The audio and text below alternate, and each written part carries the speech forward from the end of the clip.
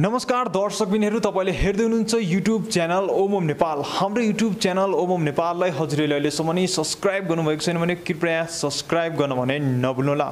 आज हामी नेपाली कथनक चलचित्र मालिका फिल्मको बारेमा चर्चा गर्न गइरहेको छौँ।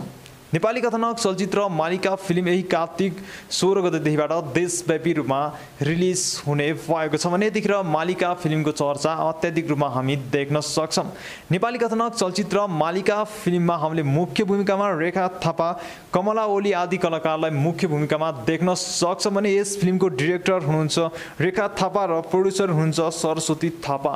यतिखेर मालिका फिल्मको चर्चा अत्याधिक रूपमा देख्न सक्छौँ भने यस फिल्मको गीत सङ्गीतलाई पनि दर्शक एकदमै धेरै मन पराउनु भएको छ र यस फिल्मको टेलरलाई पनि दर्शक मुनिले अत्याधिक रूपमा मन पराउनु भएको छ भने एकदमै पोजिटिभ कमेन्ट गर्नुभएको छ।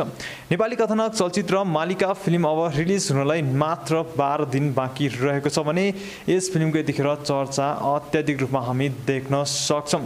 रेखा थापाको पछिल्लो समय फिल्म रिलिज नभएको धेरै समय भइसकेको छ जसको कारणले गर्दाखेरि पनि यतिखेर रेखा थापाका फ्यानहरू रेखा थापाको फिल्म हेर्नको लागि एकदमै धेरै आतुर हामी देख्न सक्छौँ जसको कारणले गर्दाखेरि पनि कार्तिक सोह्र गतेदेखिबाट नेपाली कथनक चलचित्र मालिका फिल्मले एकदमै राम्रो दर्शकबिनीहरूको साथ र एकदमै राम्रो बक्स अफिस कलेक्सन गर्न सक्ने सम्भावना यतिखेर अत्याधिक रूपमा देखेको छ। तर यस फिल्मले कतिको राम्रो व्यापार गर्ला त्यो भने कार्तिक सोह्र गतेपछि नै थाहा हुन्छ। तर यतिखेर नेपाली कथनक चलचित्र मालिका फिल्मको चर्चा अत्याधिक रूपमा हामी देख्न सक्छौँ यति भन्दै म बिदा हुन चाहन्छु र यही कार्तिक सोह्र गतेदेखिबाट देशव्यापी रूपमा रिलिज हुन लागेको नेपाली कथनक चलचित्र मालिका फिल्मलाई आफ्नो नजिकको हलमा गएर हेर्न भने नबिर्सिनुहोला।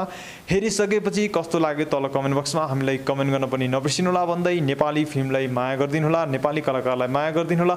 नेपाली फिल्म हेर्ने बानी बसाल्नुहोला। भन्दै हाम्रो युट्युब च्यानल ओमोम नेपाललाई like comment share and subscribe भन्ने गर्न नबिर्सिनुहोला। धन्यवाद।